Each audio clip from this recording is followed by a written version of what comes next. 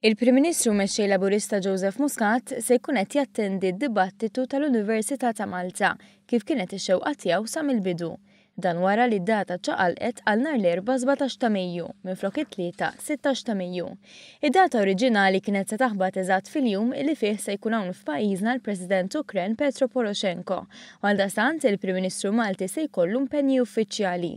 Wara laqgħa li saret fl-Università l-Antika l-Ħadd filgħodu bejn il-mexxejja tal-partiti politiċi u l-organizzaturi tad-dibattitu ġie stabbilit li dan jitmexxa b'jum.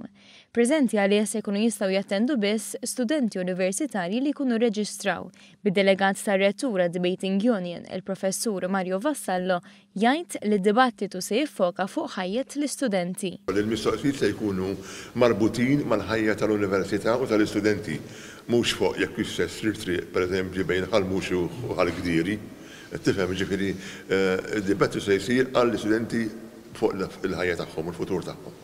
B'differenza minn dibattiti oħrajn, il-Partit Nazzjonalista u l-Partit Demokratiku mhux se tkun ikkunsidrata bħala entità waħda, Dan anki jekk fuq il-polza tal-vot se jkunu partit wieħed. Aħna qbilna li kull partit, kull leader li ħa jkun hemm ħa jkun qiegħed jitkellem f'isem il-partit u għaldaqstant kollha ħa jkollhom l-istess ammont ta' ħin allokat għalihom f'isem il-partit li qed jirrappreżentaw. Dan se jfisser li dawk li fl-elezzjoni se jkunu fuq il-lista tal-Partit Nazzjonalista se jkollhom id-doppju tal-ħin li se jkollu il-Prim Ministru Joseph Muscat.